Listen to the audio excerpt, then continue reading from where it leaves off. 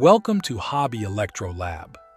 In this comprehensive DIY electronics project, we delve into the fascinating realm of time delay relay circuits. Join us as we explore the intricacies of creating a versatile circuit using the 555 timer IC.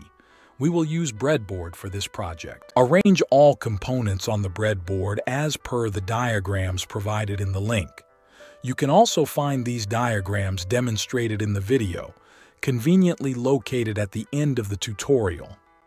After installing all the components on the breadboard, double-check the connections to ensure everything is in place. Once verified, proceed to connect the 12-volt power supply to the circuit. While the timer is initially set to adjust time from 3 seconds to 2 minutes, it is possible to extend the duration up to 1 hour by altering the values of VR1 and C1 in the circuit.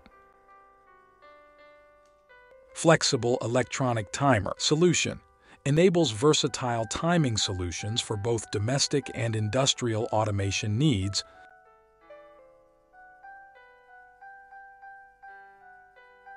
Download detailed diagrams for this project from the provided link. You'll find comprehensive information on how the components are installed on the breadboard, along with the complete circuit diagram. To create a timer ranging from 1 second up to 1 hour, you will need to adjust the values of VR1 and C1. The details for time calculation are provided in the description. Enjoyed this content?